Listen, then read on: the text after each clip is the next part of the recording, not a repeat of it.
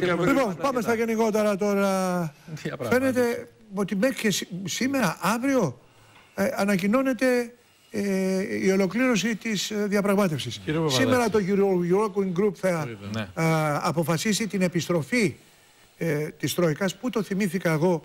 Είπα ότι το θεωρώ υποτιμητικό να πηγαίνει ο Υπουργός στη σουίτα μιας υπαλλήλου, υπαλλήλου, έτσι, να διαπραγματεύεται. Βελκουλέσκου. Αντί να της πει, Όχι, κυρία μου, θα έρθει στο γραφείο μου, εγώ είμαι υπουργός.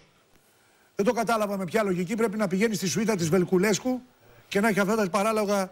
Πού βρισκόμαστε λοιπόν; Κύριε Βαδάκη, εγώ ε, πιστεύω τον πρώην πρόεδρό μου, τον κύριο Τσίπρα, που είπε ούτε ένα ευρώ μείωση. Και στο αφορετό, τον πιστεύω ακόμη. Το πιστεύετε. Εκτές προσετέθηκε ο Έχετε κύριος... κάτι, μήπως εκτές θέλετε να σας προσετέθηκε δώσω; η δήλωση του πρώην...